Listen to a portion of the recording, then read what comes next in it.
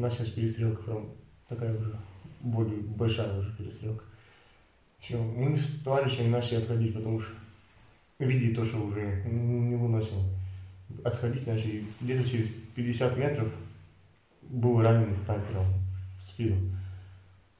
Я упал, лежал, лежал. Ну, я все видел, все наблюдал за всеми, но я не мог шевелиться. Смотрю, ко мне роты бежит сержант.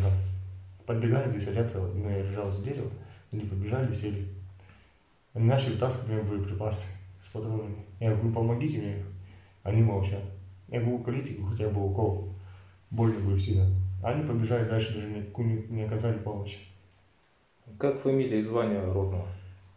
Вот звание ротного капитан Шестаков. И с ним был сержант, сержант Никитин. Все, они убежали. Где-то через полтора часа был выстрел у меня еще сделан в колено. Я притворился мертвым. Настала тишина, я где-то пролежал еще часа два.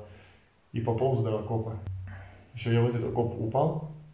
Или как заполз туда, вот самую глубь. Там лежало два спальника и баул. Я баул достал, там вода была, попил. Все, двумя спальниками укрылся. И лежал все это время. Потом нашли меня через часов, через часов 4-5 нашли меня украинские военные. Нам вот все наговаривает, и сказка здесь живут такие же простые граждане, какие вот мы. И нас отправляют бомбить частные, вот, мирные жительные города, которые вообще ничего не делали. Нас идут как мясо на, сюда вот, чтобы мы бомбили вот, жирные, мирные города, и потерь нас уже много здесь. И, и здесь никаких фашистов нет.